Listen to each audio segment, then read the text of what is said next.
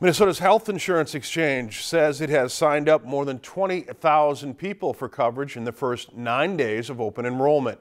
That's a milestone that took six weeks to reach last year. One health plan option is no longer available after Medica announced today it has reached an enrollment cap for 2017 and will no longer be selling to new customers either on or off the MNsure exchange. This does not affect current Medica subscribers who wish to renew their policies.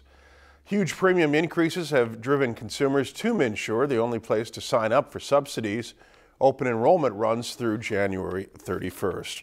If you've enjoyed this segment of Lakeland News, please consider making a tax-deductible contribution to Lakeland Public Television.